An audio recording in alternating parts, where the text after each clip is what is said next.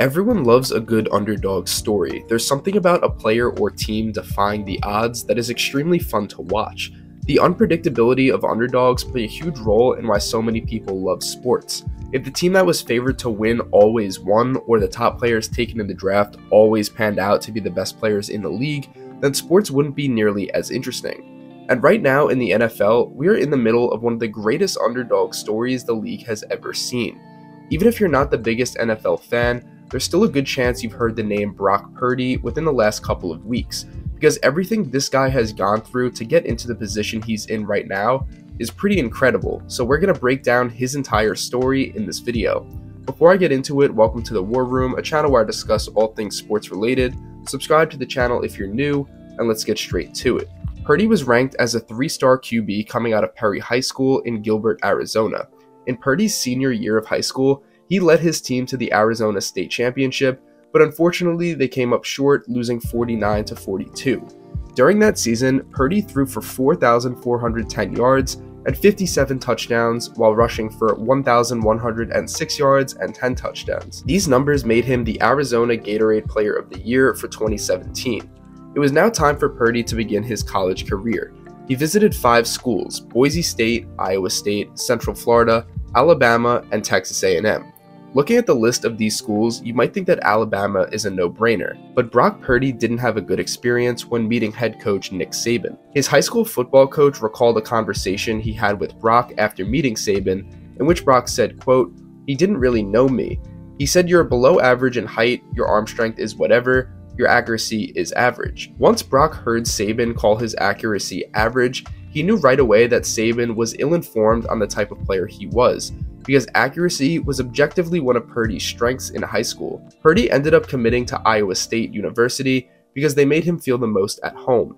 Iowa State's starting quarterback heading into the season was senior Kyle Kempt. The second string QB was a sophomore Zeb Noland, and Purdy as the freshman was the third stringer. In Iowa State's first game of the 2018 season, Kempt went down with an MCL injury in the loss and Noland was now the starting QB in week 2 against Kyler Murray and the Oklahoma Sooners. Noland didn't play badly in this game, but the team still lost. He started again the next week and had a decent game versus Akron for the win, but week 4 is where things fell apart for Noland against TCU as he went 14 for 28 passing for 79 yards and a touchdown in the team's 17 14 loss, making them 1 and 3. Week 5 Noland started against the number 25 ranked team in the country, the Oklahoma State Cowboys on the road.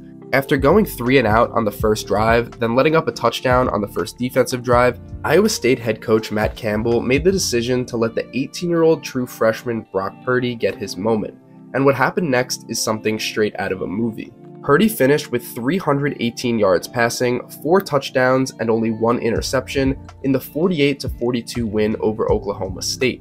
And ever since this game, just like that, Brock Purdy was the starting quarterback for the Iowa State Cyclones for the next four years. In the Big 12 Conference, he led in pass completions three years in a row from 2019 to 2021, and he led in passing yards twice in 2019 and 2021. This is an example of a guy who made the absolute most of the opportunity he was given, and that's a common theme with Brock Purdy. With Purdy's college career coming to an end in 2021, it was now time to look forward to the 2022 NFL Combine. Players are given what is known as a prospect grade after completing the combine. This grade is based on what scouts think their ceiling is in the NFL. Here is the official categorization from the NFL. Players in the sevens are expected to be all pro type players, and you can see how specific the grades get as you get into the sixes and fives. Brock Purdy's official prospect grade after completing the combine was a 5.57, meaning he is expected to be nothing more than an undrafted free agent. Historically, anyone with this grade would be an extremely lucky guy if they're just a third string player their entire career that never gets a single second of playing time. The odds of being anything more than that are pretty much impossible. In general, the quarterback class for the 2022 draft wasn't very strong at all. Kenny Pickett was the only QB selected in the first two rounds, and it was at pick number 20 with the Pittsburgh Steelers. So the draft starts with round 1 on April 28, 2022.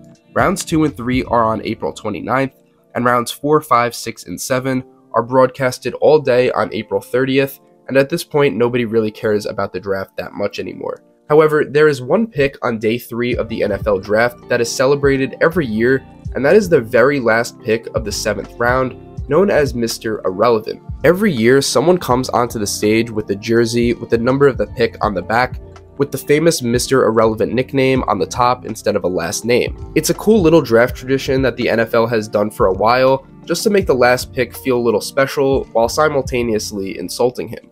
The reason why it's called this is pretty self explanatory. Nobody knows who the hell the guy is, including the fans of the team that drafts him. None of the fans care, and he'll probably be forgotten about within the next year anyway. That's what happened every single year, until the 262nd pick of the 2022 NFL Draft, when the San Francisco 49ers took Iowa State quarterback Brock Purdy. Technically, at this point, Purdy has already defied the odds since he was projected to be an undrafted free agent. The next step for him was the preseason, where guys like him get significant playing time in hopes of making the final cuts and getting added to the official 53 man roster for the season. And once again, Purdy made the most of his opportunity. In three preseason games, Purdy completed 30 out of 49 pass attempts for 346 yards, one touchdown, and one interception, with an 80.8 passer rating. These numbers aren't incredible, but head coach Kyle Shanahan felt they were good enough to beat Nate Sudfeld out for the third string quarterback position for the team. Shanahan said in an interview, quote, I thought Purdy was going to be on our practice squad because we were really happy with Nate, but Brock won that job. Week 1 of this year's NFL season, the 49ers took on the Chicago Bears with second year quarterback Trey Lance getting the start, Jimmy Garoppolo as the backup, and Brock Purdy as the third stringer. Lance didn't play well in this game, going 13 for 28, passing for 164 yards and an interception in the loss. But he was still a young quarterback, and the 49ers felt he was the future of the franchise, so he got the start once again in week 2 versus the Seahawks. Things were going well in this game until late in the first quarter. Lance suffered a pretty gruesome ankle injury, was carted off the field, and went through season ending surgery to repair the ankle. And just like that, Jimmy Garoppolo is now the 49ers starter with Purdy next in line. After Garoppolo finished off the Seattle game for the W, things were kind of rough for him as a starter in the beginning, as the team went 2 and 3 in their next 5 games after this. But week 8 is where things turned around for San Francisco. They beat the Rams, had a bye in week 9, beat the Chargers in week 10, blew out the Cardinals in week 11, and shut out the Saints in week 12. Their record is now 7 and 4, heading into a game versus the Miami Dolphins. When in their first drive of the game, Jimmy Garoppolo got sacked on this play which broke his foot, sidelining him for the remainder of the season as well. Which means the next quarterback to take the field for the 49ers is Mr. Irrelevant, Brock Purdy. Everything that Purdy has gone through from a high schooler in Arizona to a breakout quarterback for Iowa State to a low combine grade to the last pick in the draft to beating out Nate Sudfeld for the final quarterback spot has led up to this moment. Purdy finished this game completing 25 out of 37 passes with 210 yards, two touchdowns, and an 88.8 rating, winning the 49ers' fifth game in a row and making them 8 4. Brock Purdy's story could have ended here, and it still would have gone down as one of the greatest underdog stories ever. But luckily for us, it didn't.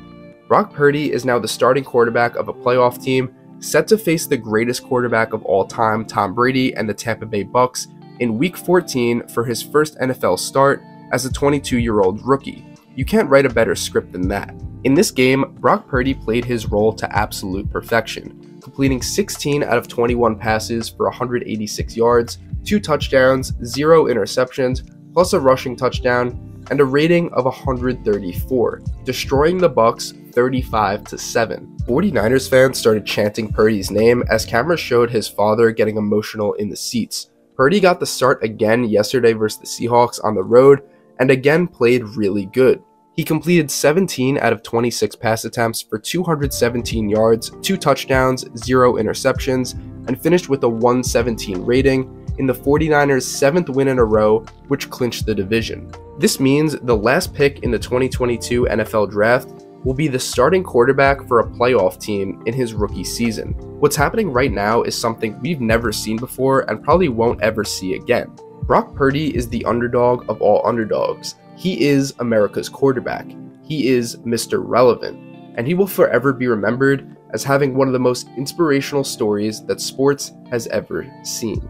That wraps this one up. This is the longest video I've ever made on this channel and a lot of work went into it, so please leave a like and subscribe to the channel if you're new. Thank you for watching, and as always, I'll see you guys in the next one.